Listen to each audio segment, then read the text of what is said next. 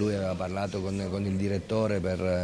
per l'anno futuro, poi è arrivato Massimo, ha fatto molto bene, quindi da parte nostra c'è stata l'idea di confermarlo e penso che abbiamo fatto anche bene e quindi magari ci può essere delusione, però con, con il mister io non ho avuto mai nessun problema e come ho detto prima in conferenza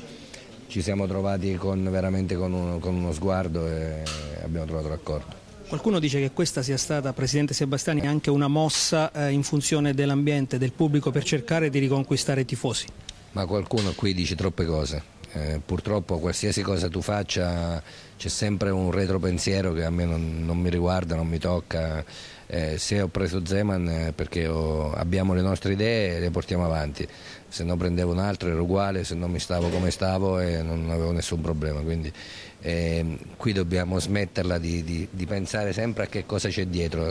eh, cominciamo a guardare avanti che forse facciamo meno danni. Il mister giustamente essendo stato contattato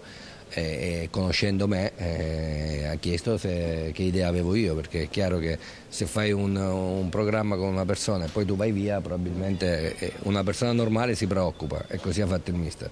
Io gli ho ribadito quello che vi ho detto prima a voi, cioè che io sono qui al posto mio, se c'è qualcuno che possa fare meglio e quindi fare ancora di più il bene del pescare io sono a disposizione, se non c'è basta con le chiacchiere e bisogna lavorare. Zeman è a Pescara da poche ore, però si vede già il cambiamento, il Poggio degli Ulivi dopo due mesi riaperto al pubblico, tifosi che sui social ovviamente hanno accolto favorevolmente l'arrivo di Zeman e anche la squadra, vedendo eh, l'allenamento dalla tribuna, sembra rinfrancata dall'arrivo di un nuovo tecnico.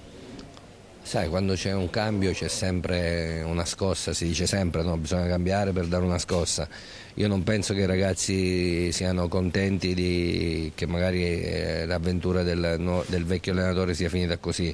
eh, però è evidente che qualcosa bisognava fare, è stato fatto e adesso